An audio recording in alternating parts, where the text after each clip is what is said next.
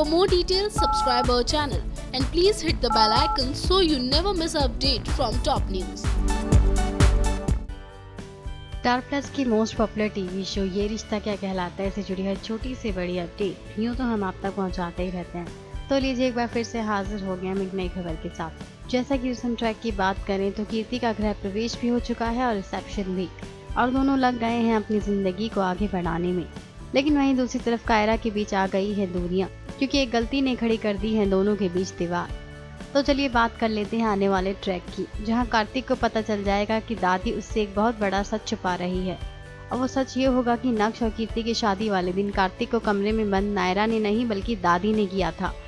और दादी को ये बात पहले से मालूम थी कि नक्श कीर्ति से प्यार नहीं करता और ये शादी सिर्फ़ उसके लिए महज एक समझौता थी। लेकिन दादी ने ये बात सबसे छुपाई और सबको दिया धोखा। और कार्तिक ये बात सुनकर हो जाएगा गुस्से से लाल पीला, क्योंकि इस वजह से ही कार्तिक था नायरा से गुस्सा। लेकिन जब ये सच्चाई सामने आएगी तो मिट जाएगी कायरा के बीच की सारी गलत फहमियाँ। तो अभी देखना और भी ज़्यादा इंटरेस्टिंग हो जाएगा कि दादी का ये सच जानकर कार्तिक क्या करेगा और कहानी ले लेगी कौन सा नया मोड। तब तक के लिए बने रहिए हमारे साथ। ये रिश्ता क्या कहलाता है, इसे जुड़ी हर छोटी से बड़ी अपडेट। जानने के लिए सब्सक्राइब कीजिए हमारा channel top news just for you top news से चंचल की report